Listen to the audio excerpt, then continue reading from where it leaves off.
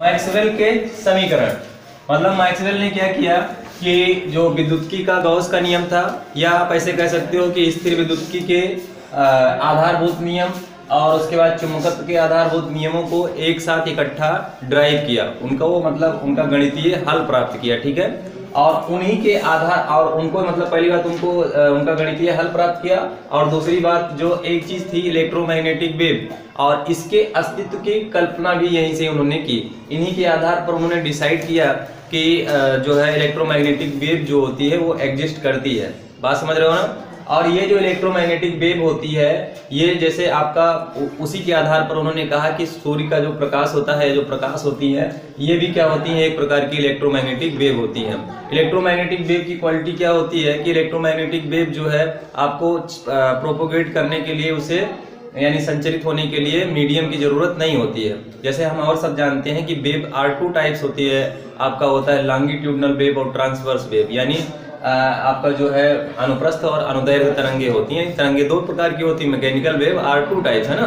तो इस इस, हिसाब से अगर हम देखें तो आपका चाहे ट्रांसवर्स वेव हो यानी जो आपका और दूसरा चाहे लॉन्गिट्यूडनल वेव हो या आप ऐसे कह सकते हो अनुदैर्घ तरंग हो या अनुप्रस्थ तरंग कक्षा ग्यारह में हमने इसके विषय में पढ़ा कि इन दोनों को संचरित होने के लिए क्या चाहिए? माध्यम की आवश्यकता होती। बिना मीडियम के ये कभी संचरित नहीं हो सकती। बट हम देखते हैं कि सूर्य से प्रकाश की किरणें आ जाती हैं, सूर्य से गर्मी आ जाती है। बीच में आपका क्या है? वैक्यूम है, निर्वात है। और प्रकाश निर्वात में भी चल सकता है।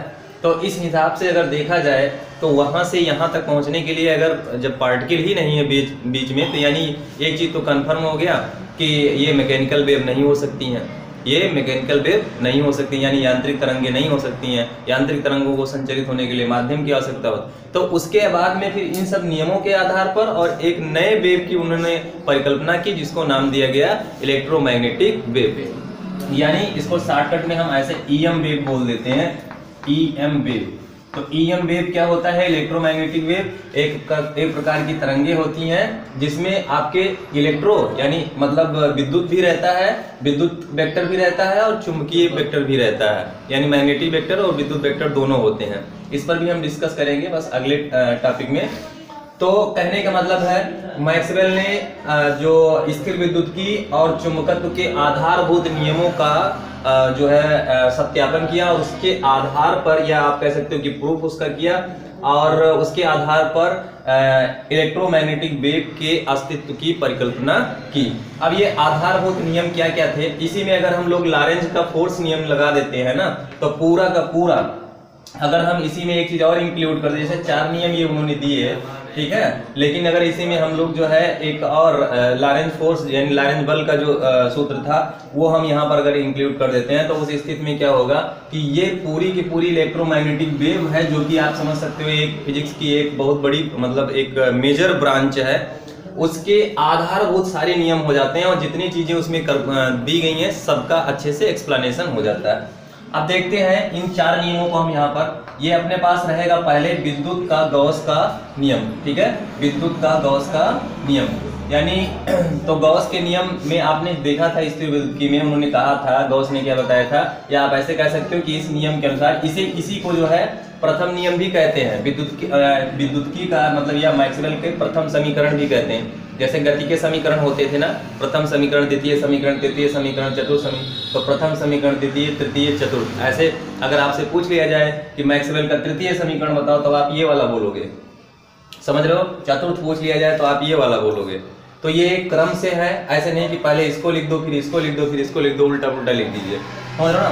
तो इसे प्रथम समीकरण कहते हैं, मैक्सवेल का ये प्रथम समीकरण है, और इस नियम के अनुसार जो, और ये इन्होंने खुद नहीं दिया है। इन्होंने क्या किया?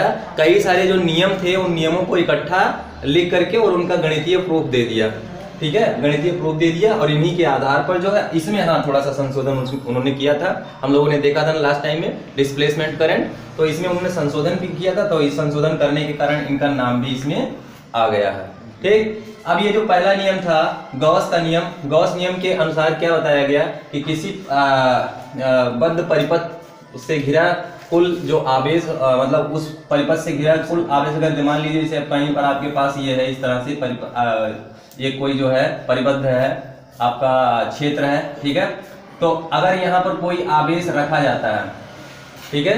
तो इस क्षेत्र से घिरा कुल आवेश यानी इस क्षेत्र से होकर के गुजरने वाली कुल जो वैद्युत फ्लक्स होती है या कुल वैद्युत फ्लक्स होता है इलेक्ट्रिक फ्लक्स होता है वो आ, क्या होता है कि इस क्षेत्र से घिरी कुल जो आवेश है और उसका वन बाई एप्साइलन नॉट गुना होता है। ऐसे आप कह सकते हो, यानी आप कह सकते हो कि जो वैद्युत फ्लक्स होता है, इलेक्ट्रिक फ्लक्स होता है, वो आपका हो जाएगा ई डॉट डी ए यानी आप डायरेक्टली बोल सकते हो फाई यही तो है इलेक्ट्रिक फ्लक्स। तो ये आपका बराबर होगा किसके? क्यू अपान एप्सिलॉन नॉट समझ ना तो ये पहला नियम हो जाता है। ठीक? और इसी को प्रथम समीकरण भी कहते हैं। इसके अनुसार अगर कहीं पर आ, किसी पृष्ठ से कोई आवेश घिरा हुआ है तो उस पृष्ठ से होकर के गुजरने वाला जो कुल वैद्युत फ्लक्स होता है वो आ, उस पृष्ठ से घिरे आवेश क्यू का वन बाई एप्सिलॉन नॉट गुना होता है। ये आपको पता है, पहले हम लोग डिस्कस कर चुके ठीक? दूसरी चीज़ है, दूसरा जो समीकरण है, चुंबकत्व का गौस का नियम। इसमें उन्होंने क्या बताया कि चुंबकत्व का गौस का नियम में जो होता है, किसी पृष्ठ से घिरा हुआ जो कुल चुंबकीय फ्लक्स होता है, कुल चुंबकीय फ्लक्स मतलब बी डॉट डी ए ठीक है? किसी पृष्ठ से घिरा हुआ कुल चुंबकीय फ्लक्स जो होता है, हमेशा कितना होता है? शून्य होता है। ये दूसरा नियम उन्होंने बता दिया। तीसरा नियम उन्होंने क्या कहा?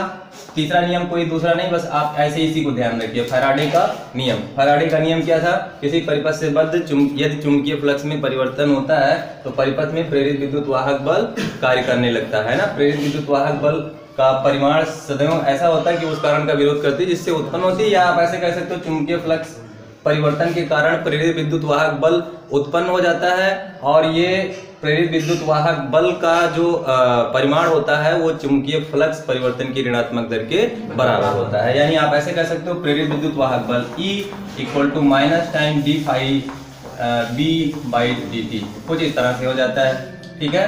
और यही चीज़ आपका, ये ये जो प्रेरित विद्युत वाहक बल होता है, प्रेरित विद्युत वाहक बल इस तरह से भी होता है, यानी ई डॉट डी एल ठीक है? ई डॉट डी एल यानी आप कह सकते हो कि जो या आपका जो वैद्युत फ्लक्स वैद्युत क्षेत्र में परिवर्तन हो रहा है, जैसे हम लोगों ने लास्ट टाइम में जब डिस्प्लेसमेंट करंट देखा था, हालाँकि आपको लिखना खाली इतने हैं कि E equal to minus G five I D T ये क्या है? विद्युत चुंबकत्व का फराडे का नियम है और मैक्सवेल का तृतीय समीकरण है। समझ रहे हो ना? तो यहाँ पे जो है, ये चीज़ आपका है, विद्युत विद्युत क्षेत्र है। विद्युत क्षेत्र जैसे हमने लास्ट टाइम में देखा था क्या? डिस्प्लेसमेंट करंट है ना? विस्थापन धारा देखी थी। तो विस्थापन धारा में हमने क्या देखा था? कि कहीं पर जो है इलेक्ट्रिक फ़ील्ड में परिवर्तन हो रहा है। मतलब इलेक्ट्रिक फ्लक्स में परिवर्तन हो रहा था। तो उस उस उस स्थिति में क्या होता है? वहाँ पर एक परिवर्ती विद्युत वाहक बल भी वर्क करने लगता है, ठीक है? चौथा जो समीकरण है वो है आपका एम्पियर मैक्सवेल का परिपथीय नियम। इसको हमने अच्छे से देखा लास्ट के वीडियो में। अब आप देखिए एम्पियर मैक्सवेल का परिपथीय नियम जो है पहले एम्पियर ने क्या दिया था? पहले इन्होंने कहा था कि किसी आ, किसी क्लोज लूप के लिए जो है आपका यानी बंद बंद परिपथ के लिए जो चुंबकीय क्षेत्र का रेखीय समाकलन होता है ना चुंबकीय क्षेत्र का रेखीय समाकलन जो होता है उस पृष्ठ से घिरी कुल नेट धारा का म्यू गुना होता है। ऐसा कुछ पहले उन्होंने कहा था, लेकिन बाद में इसी में संशोधन कर दिया। मैक्सवेल ने, उन्होंने क्या कहा? कहा कि नहीं भाई, ऐसा नहीं है। जो किसी पृष्ठ का जो कुल विद्युत क्षेत्र होता है, या चुंबकीय क्षेत्र होता है, या उससे जो घिरा हुआ किसी चुंबकीय क्षेत्र के लिए उसका रेखीय समाकलन उस पृष्ठ से घिरी कुल धारा, अर्थात आप कह सकते हो चालन धारा, यानी कंडक्टिंग करंट और उसके बाद में डिस्प्लेसमेंट करंट यानी विस्थापन धारा, ठीक है आईडी उसके सम का, यानी उसके योग का म्यूनाट गुना होता। तो ये चीज़ें थी जो चार समीकरण उन्होंने